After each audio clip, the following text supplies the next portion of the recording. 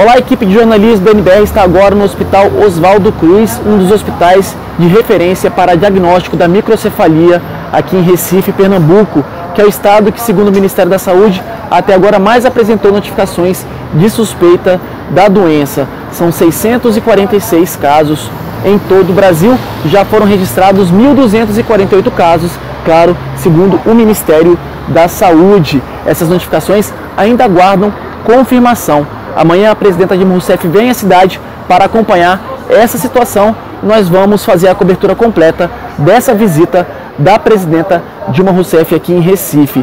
Todas as informações sobre esse assunto você vai acompanhar aqui na NBR e também nas nossas mídias sociais. De Recife, Pernambuco, Leandro Alarcon.